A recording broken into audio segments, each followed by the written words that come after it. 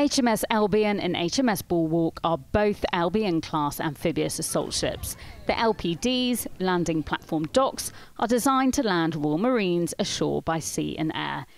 HMS Albion and HMS Bulwark entered into service in 2003 and 2005 respectively and are due to leave service in the early 2030s.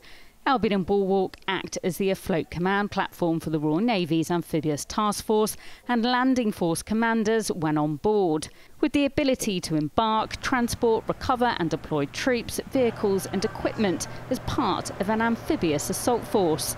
Their usefulness derives mainly from their ability to concentrate a balanced force at a chosen point on a coastline or to deter aggression by providing a potent UK presence offshore in an area of regional tension. They both support large scale operations due to their size and versatility. The sophisticated command and control systems are vital to coordinating and executing amphibious operations.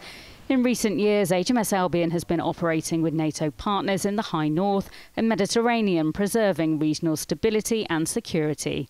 To achieve their military taskings, the ships need the right kit and equipment on board. The LPD vehicle decks are vast and can carry up to six Challenger tanks or around 30 armoured all terrain tracked vehicles. The flight decks can also house two Merlin or Sea King helicopters and two Chinook heavy lift helicopters. Each ship has a crew of around 300 but can accommodate in excess of 400 extra personnel. As part of the ship's company, there's a permanent Royal Marine unit called 4 Assault Squadron Royal Marines. It has various crafts to transfer commandos from ship to shore.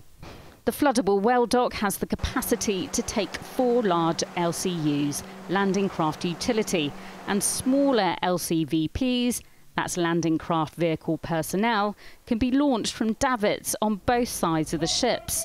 Crucial to commando operations, strike teams can be projected ashore quickly when needed. If required, the LPDs have the capability to land over 200 Royal Marines ashore by air and sea. In comparison, Bay class vessels such as RFA Mounts Bay has a crew of around 60 and within normal capacity can embark around 300 extra personnel. The ships have space for one helicopter on the flight deck and load over 100 vehicles inside.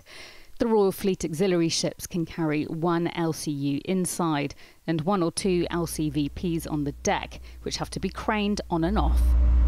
A key part of what the LPDs offer is flexibility in tasks outside their primary military role and in humanitarian assistance, disaster relief, and non combatant evacuation operations.